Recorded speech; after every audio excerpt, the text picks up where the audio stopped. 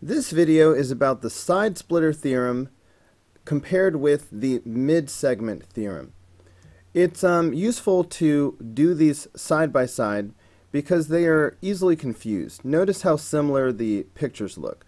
They both involve a triangle that has a segment inside that's parallel to one side. They both have that. Um, but for the side splitter theorem, that's all we have, is a segment that is parallel to a side. Whereas for the mid-segment theorem, we have this additional information that we have midpoints. All right, If the segment joins uh, midpoints, then we can use the mid-segment theorem. We'll, we will know that we have mid, uh, midpoints because the segments on either side will be congruent. Now, for the side splitter theorem, um, which does not require midpoints, you can uh, notice that the uh, the segments are proportional. So I can write a over b is equal to x over y. Now, for the mid-segment theorem, um, where you have the midpoints that are being connected, then um, the situation is that the uh, the segment is half the size of the parallel side. So in other words, if I double the mid segment, and uh, this uh, little white segment is called the mid segment when it connects midpoints, if I double that, it should equal the other side. So notice that um, the two theorems deal with completely different parts of the triangle. For the side splitter theorem, we're dealing with the sides of the triangle. All right. Um, for the mid-segment theorem, we're dealing with the mid-segment and the parallel side. All right. So when you're doing the side splitter theorem, we are not going to be doing anything um, with this white segment in the middle. Okay. So every time you see a problem like this, where you have a segment inside the triangle that's parallel to a side, you have to stop and ask yourself, um, should I be doing the mid-segment theorem or will I simply do the side splitter theorem? Okay, um, so the question is, really, are these midpoints? All right, are these midpoints? Uh, and the answer here is no, because we have a 6 and an 8. If this was a midpoint, it would be like 6 and 6, or 8 and 8. So we cannot do the mid-segment theorem. Um, instead, we will simply do the side splitter theorem, um, where we will make a fraction out of these two, and we'll make another fraction out of these two, because these segments are proportional. So for example, I can just simply do 6 over 8 is equal to 18 over x and I can use this to find the value of x. Okay, so um, 6 over 8 reduces down to 3 over 4, and that's going to equal um, 18 over x. And then it's time to cross multiply. So if I do this diagonal, um, that's going to give me 3x. If I do this diagonal, I'm multiplying. Um, let's see, 4 times 18.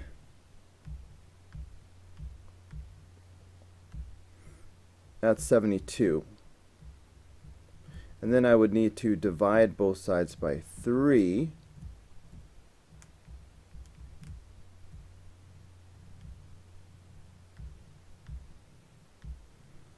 And that's 24.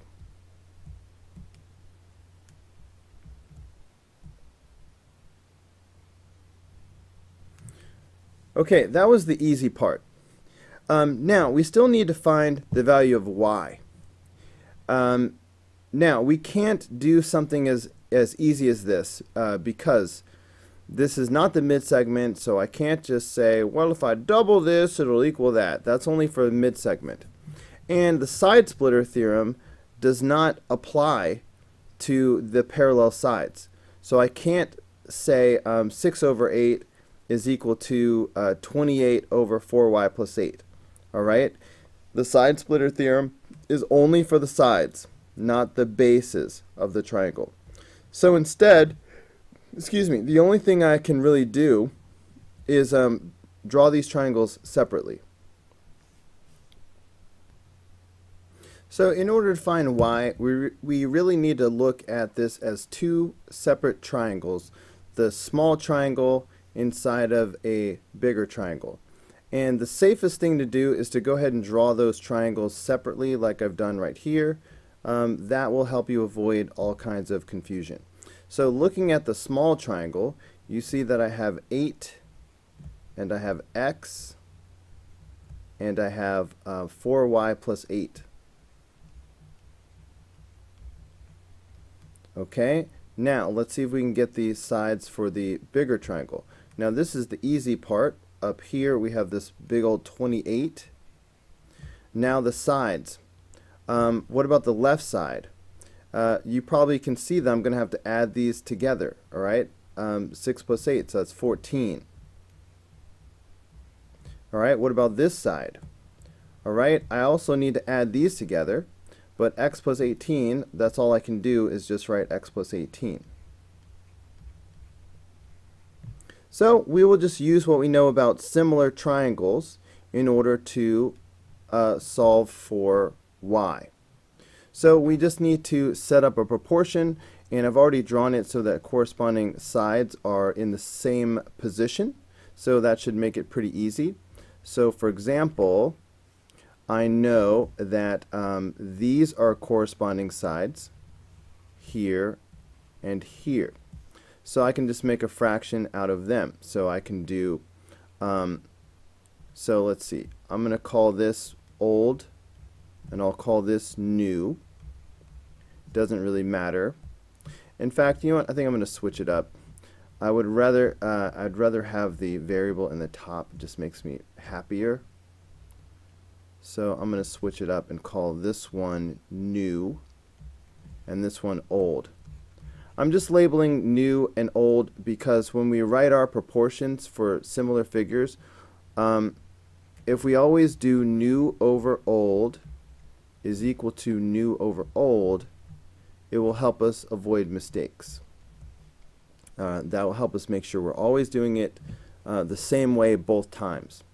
So I will do new over old. So that will give me, um, let's see, let me see if I can squeeze this in over on the side. That's going to give me um, 4y plus 8 over 28 is equal to. Um, okay, now for my other fraction, I need all numbers, no more variables. So I'm not going to mess with the x and the x plus 18. But instead, I'm going to consider the 8 and the 14. And again, I'm going to do new over old. So that's going to be 8 over 14. And I will use this in order to find y. So this is going to give me 4y plus 8 over 28. Um, this reduces down to 4 over 7, so I always like to do that and then I cross multiply. So um, if I do this diagonal, all right, multiplying, then that is going to give me 7 times 4y plus 8 equals, and then if I do this diagonal, multiplying, again, I'm going to need to know what 4 times 28 is real quick. So 4 times 28 that's 112. So little distributive property happening. So that's going to be 28y plus 56 is equal to 112. Go ahead and subtract 56 from both sides and that will give us 28y is equal to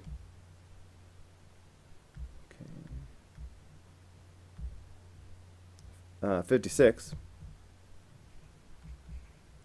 And then when you divide by 28 and squeeze it in here,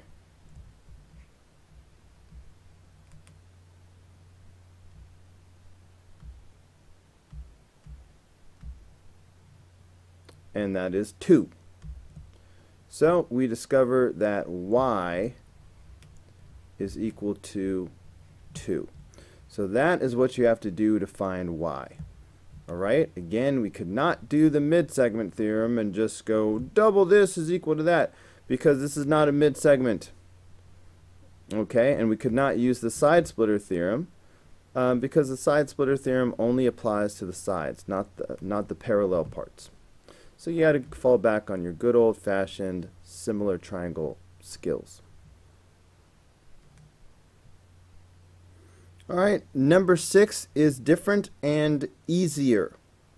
Um, can I do, uh, well, am I going to do the side splitter theorem or am I going to use the mid-segment theorem? This time I can do the mid-segment theorem. See the uh, tick marks? These show that the uh, segments on either side are congruent Alright, so that means that I have midpoints here and here. Um, so that means this is a mid segment. So that tells me that um, the mid segment is going to be half the length of the parallel side. So if I double the mid segment, it's going to equal the other side. So I can use that to my advantage. Um, so if I double the mid segment, so if I do 2 times 4y plus 8, that should equal the parallel side. That should equal 28. So a little distributive property, and I have 8y plus 16 is equal to 28. Subtract the 16, and you have 8y is equal to 12. And then if you uh, divide both sides by 8, you discover that y is equal to, um, first let me just reduce this fraction. So this would be, um, both of these are divisible by 4, so that would be 3 over 2. Okay, or as a decimal, that would be 1.5.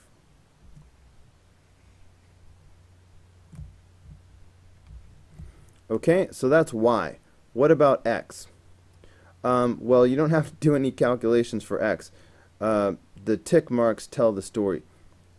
Uh, these segments are congruent, so of course that means that x is simply equal to 18.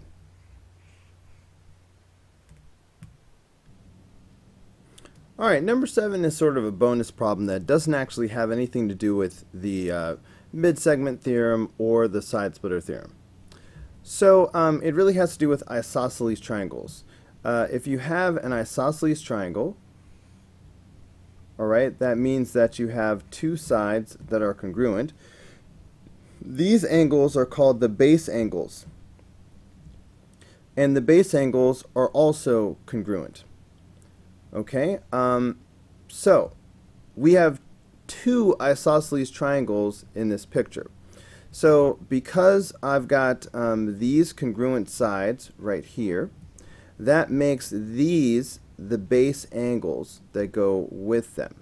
So these base angles are congruent. So if this is x, um, then this is also x. These are the same. Now, um, all of the angles in a triangle have to add up to 180. So looking at this top triangle, you know that x plus x plus 50, all of that has to add up to 180. So in other words, 2x plus 50 has to equal 180. So if you subtract 50 from both sides, then we see that 2x is going to equal 130. So then if I divide both sides by 2, um, that's going to be 65.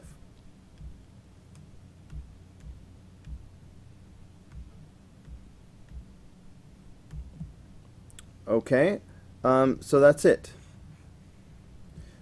So this would be 65 and this would also be 65. And you can just kind of check your work Um, and notice that if I added all these up, if I do 65 plus 65 plus 50, of course it all adds up to 180. So it adds up to 180, our base angles are congruent as they need to be, so it makes sense. Um, and let me just change colors, but we're going to be doing the same thing for this triangle down here. Okay, so now looking at it this way, so if I've got these two congruent sides, that makes these base angles. And these base angles are going to be congruent. So I don't need to do any fancy calculations this time. Uh, these are simply congruent, so that just tells me that y is going to equal uh, 71 degrees. Okay, I, I guess I should have said 65 degrees for x as well.